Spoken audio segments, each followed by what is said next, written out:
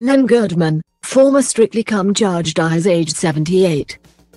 Former Strictly Come dancing judge Len Goodman has died, aged 78, from bone cancer. His agent, Jackie Gill told The Standard on Monday, Len died on Saturday night in a hospice in Kent. He had bone cancer. He was surrounded by his family. He always kept his sense of humor and great dignity. Left double quotation mark. Ms. Gill said Goodman was a much-loved husband, father and grandfather who will be sorely missed by family, friends and all who knew him. Goodman was head judge on Strictly from 2004 until 2016. He also appeared on the US version of the show. Dancing with the Stars, DWTS, from 2005 until 2022. Tributes to the star began pouring in at the news of his passing. Tim Davie, BBC Director General, said, Len Goodman was a wonderful, warm entertainer who was adored by millions. He appealed to all ages and felt like a member of everyone's family. Len was at the very heart of Strictly's success. He will be hugely missed by the public and his many friends and family. Judge Craig Revel Horwood wrote, I've just woken up to the sad news that my gorgeous colleague and dear friend Len Goodman has passed away. My heart and love go out to his lovely Sue and family. Len Goody Goodman is what I always called him and it's a 10 from Len and and will live with me forever. R.I.P. Len.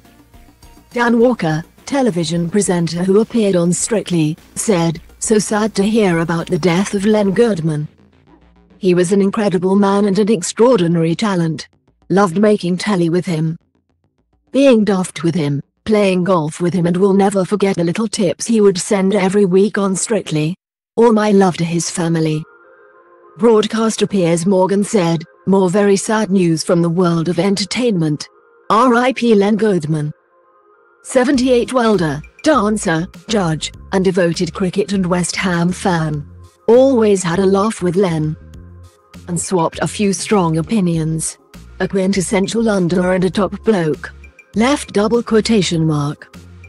Former contestant, broadcaster Russell Grant, said, The wonderful Len Goodman has left us. He was so kind and lovely to me when I was on at Strictly and we met on other programs including his own filmed at BBC Glasgow. The word legend is overused but Len and his seven became a catchphrase across UK and USA. A true character.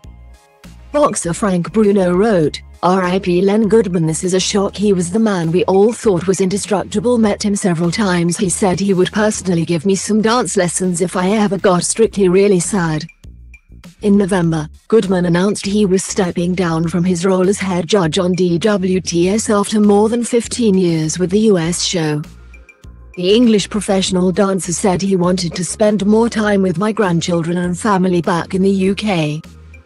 He announced the news during the semi-final episode of DWTS, whilst we're all getting excited and looking forward so much to the finale next week. It will also be with a touch of sadness, as this will be my last season judging on Dancing with the Stars. Double quote. I've been with the show since it started in 2005 and it has been a huge pleasure to be a part of such a wonderful show but I have decided I'd like to spend more time with my grandchildren and family back in Britain. He added, I cannot thank you enough, the Dancing with the Stars family. It's been such a wonderful experience for me and I'm looking forward so much to next week's finale. I'm sure it's going to be absolutely brilliant. Goodman stepped down as head judge from BBC Strictly Come Dancing in 2016.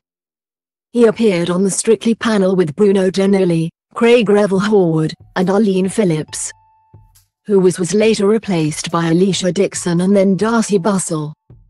Goodman's final appearance on Strictly was on the 2016 Christmas Day special. He was replaced as head judge by Shirley Ballas.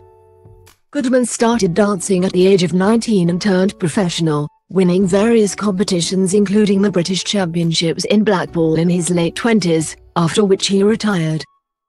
Goodman is a recipient of the Carl Allen Award in recognition of outstanding contributions to dance. As well as his successful dancing and television career, he is also the owner of the Goodman Academy, a dance school in Dartford, Kent.